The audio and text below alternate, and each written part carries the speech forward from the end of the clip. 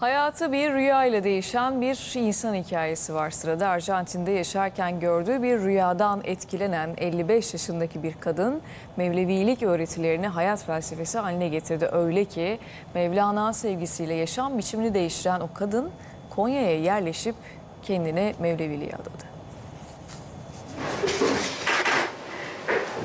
I was in Argentina uh, having my teaching time with my students. Her şey gördüğü bir rüyayla başladı. Sonrasında hayatı değişti. Hint asıllı Arjantinli müzisyen hayatını Mevleviliğe adadı. He was a Sufi master and he was calling me.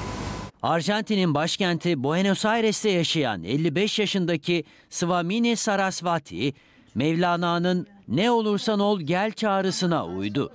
7 yıl önce rüyasında gördüğü Sufi bir piri Mevlana olarak tasvir eden Hint asıllı kadın Mevlevilikle ilgilenmeye başladı. Ama um, Mevlevilik öğretilerini kendine hayat felsefesi edinen Swamini, her yıl Şebi Arus törenleri sırasında ziyaret ettiği Konya'ya yerleşme kararı aldı. Müzisyen, gördüğü rüyayla hayatının değiştiğini söylüyor. when Hazreti Pir came to my life, the way of the heart start opening and bloom in an incredible way.